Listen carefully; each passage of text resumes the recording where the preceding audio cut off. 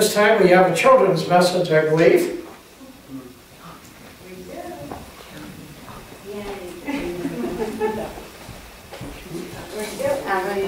Don't bump it. Okay, Be now. careful.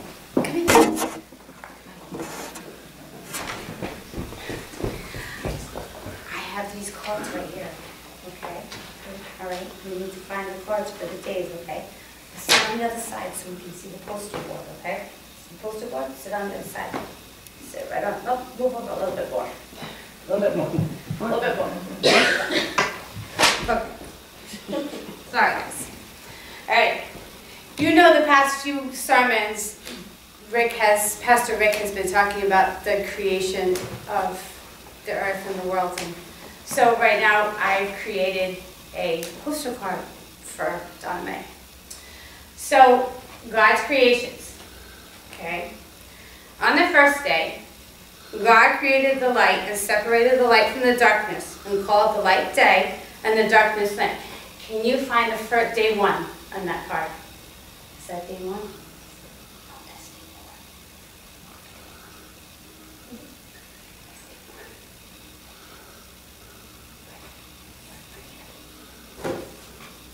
There you go. There's day one. Day two, God created an expanse to separate the waters and called it sky and ocean.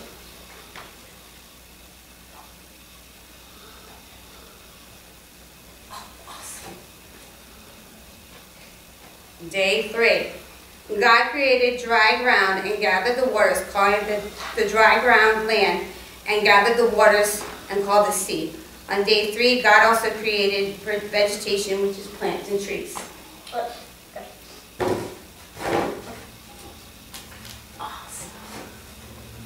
All right.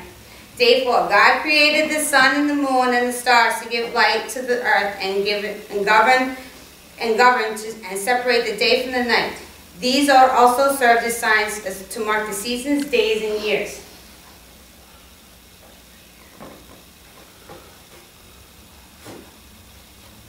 Day five, God created everything, every living creature of the seas and every winged bird, blessing them to multiply and fill the waters of waters and sky with life. Day six, day six, God created the animals to fill the earth, and on day six, God also created man and woman, Adam and Eve. In his own image, com- communed with him, he blessed them and gave them the creatures, gave them creatures and the whole earth to rule over, care for, it, and cultivate.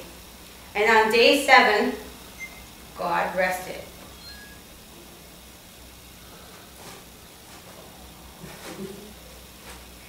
There's a creation song. It says, I gotta put my glasses on, I'm sorry. It says a creation song, it says, Know that the Lord is God. He is He it is He who has made us, and not our not we ourselves. We are His people, and the sheep are His pasture. God created everything in six 24-hour days. This original creation was perfect, without sin or death. You know, so that's- That's for children, that's for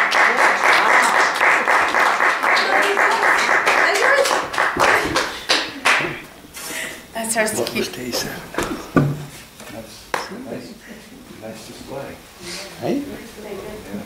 Thank you, Nora.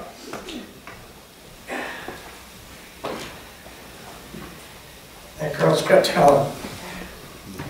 And I appreciate it. Okay. Uh, if you have your Bible this morning, I'm going to direct your attention to the book of Genesis, chapter 7, which is on page 9. I have to believe such small numbers for page numbers where we are. We're in the first book of the Bible.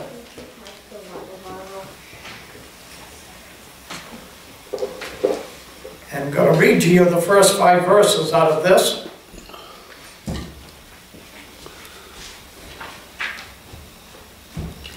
The Lord then said to Noah, Go into the ark, you, your whole family, because I have found you righteous in this generation.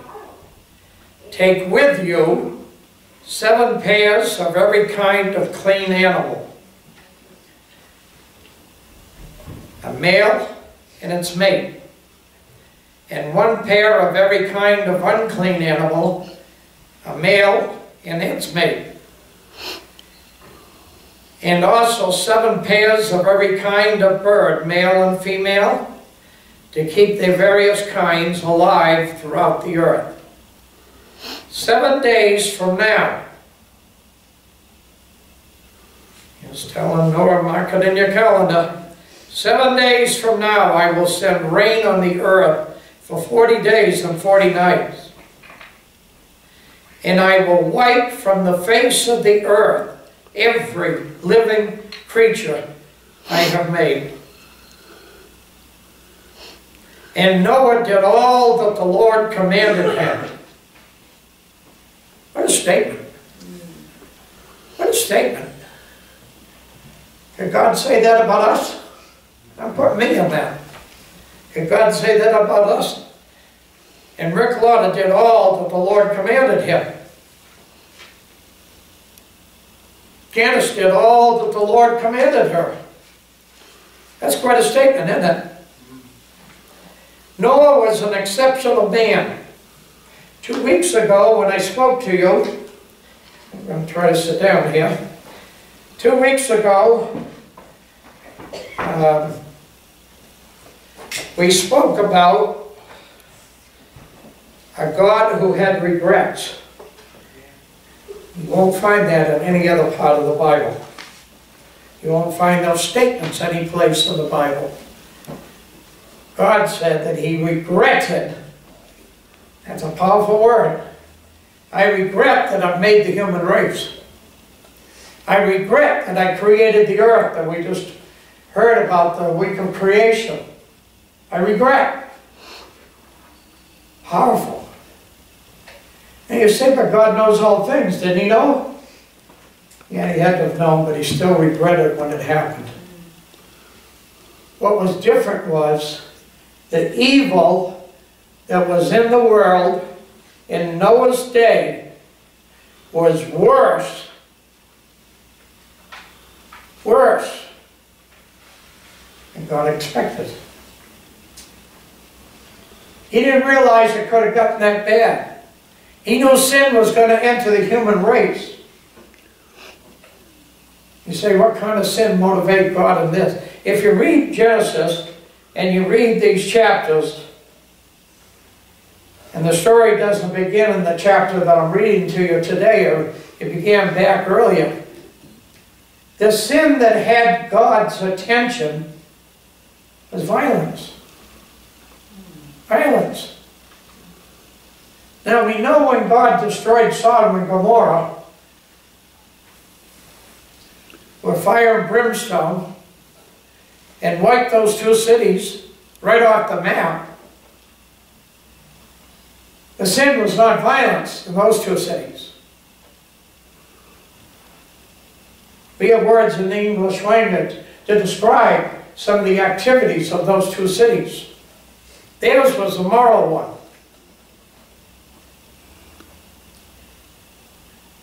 They even tried to entice the angels that went there. Unbelievable. They were out there.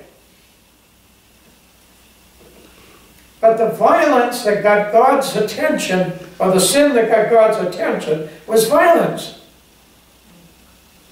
And as you read through these chapters in early Genesis, something we do not give a thought about is that when human blood is shed, God hears it, God sees it. He says so. He gave a speech to Noah's family after they got off the ark. Said when human blood is shed, I hear it. Why? Life that came from God. That's how it's transmitted. That's how life is maintained. Once your blood gets in trouble, you're gone. That's where life is. That's what we try to do. We have ambulances that leave in a hurry, loaded with equipment to get oxygen back into the blood because blood is where the life is. To maintain it. And everything that the blood services within the human body got to be maintained. Or within minutes, death starts to take over organ by organ. But violence is what got God's attention here. In this generation that Noah lived in, people were angry. And people were doing things to each other. And they were motivated to hurt each other instead of help each other. God was tired of it. God never created the human race to die. He created it to live. And that theme is all the way through the Bible. Death is not the design of God, it's the absence of God that creates death.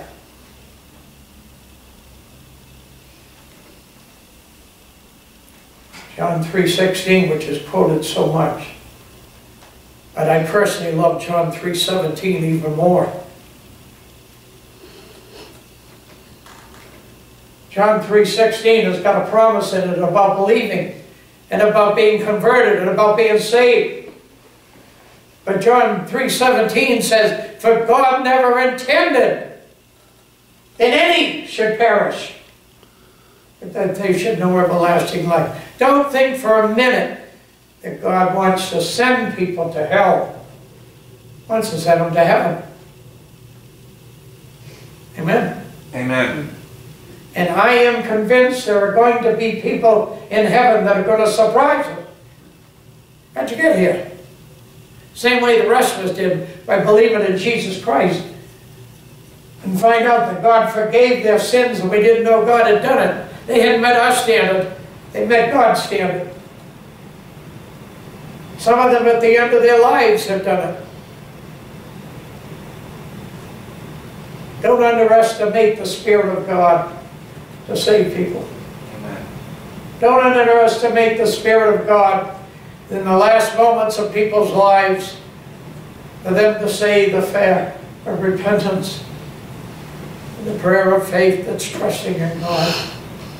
I am not the judge of who goes to heaven. This church is not the judge of who goes to heaven. Only God is. Don't walk away from that fact. And what you don't understand, commit it to God. Commit it to Him. God has not asked me or you to be the judge of who goes to heaven and who doesn't. But the thing I have observed, I started watching it as a young minister, and I can't describe myself that way anymore. My, hair is giving me out. But I still am amazed at the people that God forgives and redeems. The church says, no, they can't. And I love it. I serve a risen Savior Amen. who is in the business of saving people, not condemning them, of forgiving people, not holding a grudge. I love it. I grew up in a church that was very conservative and legalistic. People called themselves fruit inspectors. Oh, if you bear fruit, what kind of fruit? Well, you have to do this, you have to do that, you have to do this, and you have to do that, and if you don't do those things, you ain't going to heaven. I'm happy to tell you those fruit inspectors aren't working for the Lord. They thought they were. They weren't. Amen? Amen. But here we got a story about Noah as a very, very different man. He lived a life that was one of the longest in the Bible. His total life was 950 years. And he lived 500 years before God gave him a message. So he wasn't always an oddball. He was an ordinary man. But he had a faith and a commitment in God that was different. There are some statements in the Bible about Noah that are very unique. And Noah didn't make them about himself. The book of Genesis was written by Moses under the inspiration of God. It says that Noah was a man that found favor in the eyes of the Lord. Meant he liked him.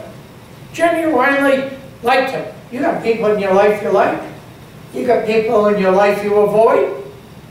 You got people in your life you just plain don't like. And you're glad that the street has two sidewalks on it, so you can take the other one. Or a building has two doors, so you can exit the other one. There are people you don't like. Now this one, God said, Noah was a man he, that God had found favor with. That's a tall statement. Oh, I wish I'd love to have God to be able to say that about me at the end of my life. And then he went on to say, Noah was a righteous man. That's why I liked him. Righteous. You know what that righteous means? Doing the right thing. Doesn't mean you're politically correct. Doesn't mean you're educationally correct. Doesn't mean you know how to throw a fastball in the Red Sox. It doesn't mean you know those things. It means you do the right thing morally.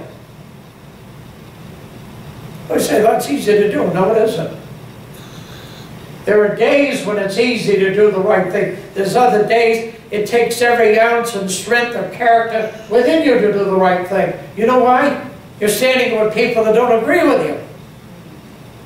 They don't see as you see. They don't believe as you believe.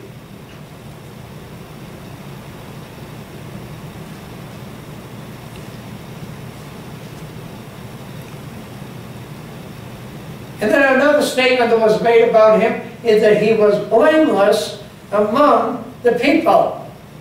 That meant that nobody had a fight with Noah because he had wronged them. Oh, they might fight with him because they didn't believe in him. They didn't believe in what he was doing. He thought he was a little of this, whatever that is. A couple of his marbles weren't right. A couple of his cylinders skipped and misfired. Oh, he's got to be to live the way he lives. What an oddball.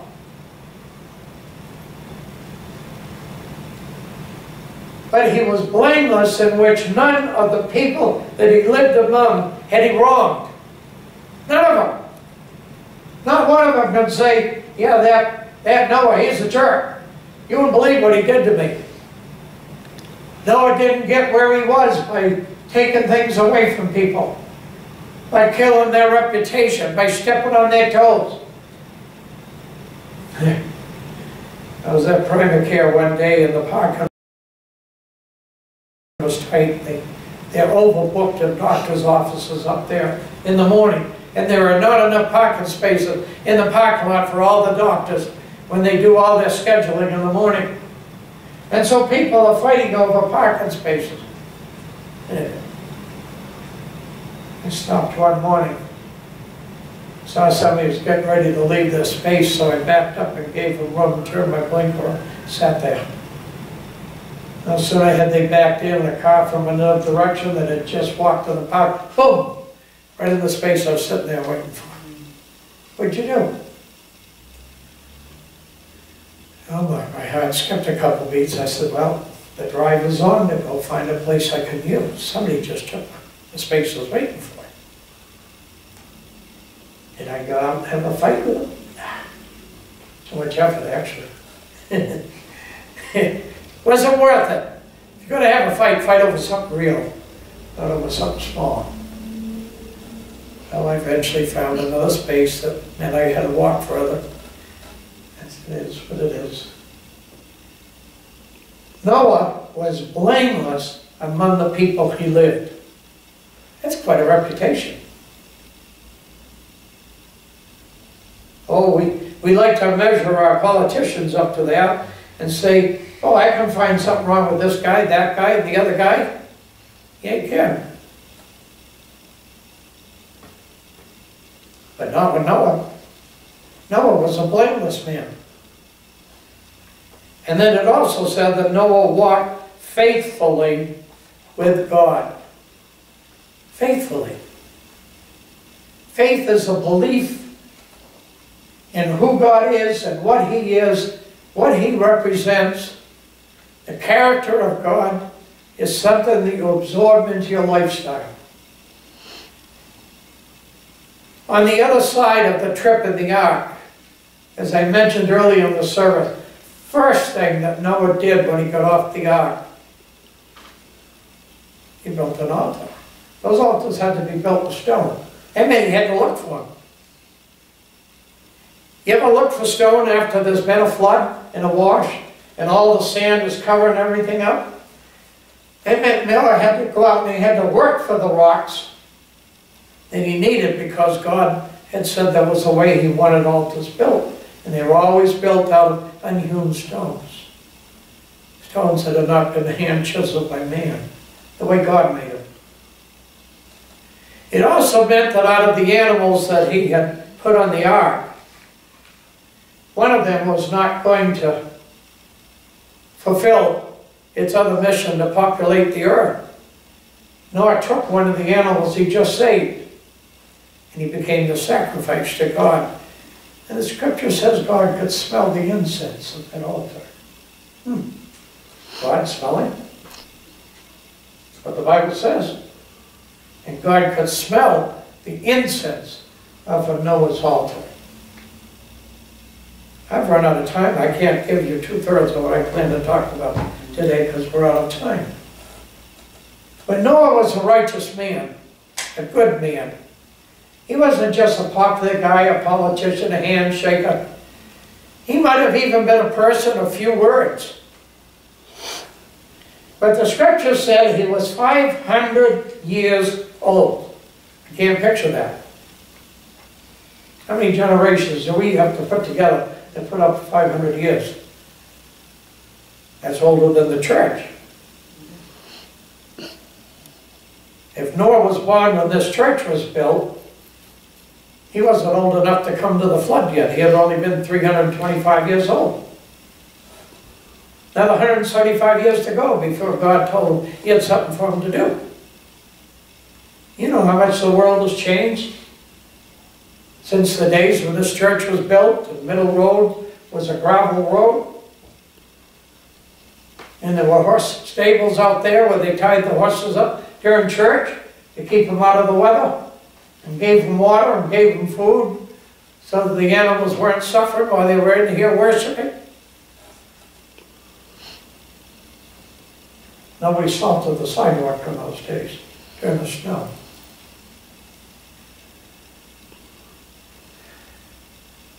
He was 500 years old. And God said to him in the 500 years that he was all the things I just said about. And then God whispered in his ear. "Hmm. Noah, I got a job for you. You know, all of us like it some days when people say they have a job for us. One of the needs that we all have, I don't care who you are, is the need to be needed. One of the senses of being alone and abandoned is nobody needs me. Nobody wants me, nobody needs me. I guess I'm not important. The need to be needed. Needed by your family, needed by a companion, needed by the organization you belong to. The need to be needed. We all need it. One of the things the parents go through after their children grow up is all of a sudden there's nobody there that they're going to cook breakfast for, or clean house for, or do wash for. Nobody there that they can listen to. They're jabberwacky. It doesn't always make sense, but it's fun to listen to.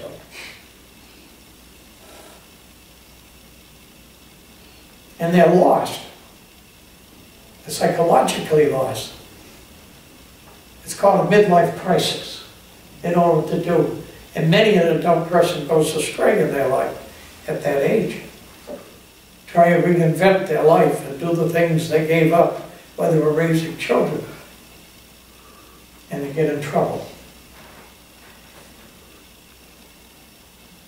I got a lot to talk about in this chapter and I'm of time. I hope most of you go down, if all of you don't go downstairs, got a couple of things to to decide on tonight. And I need you down there. So let's stand together, we're supposed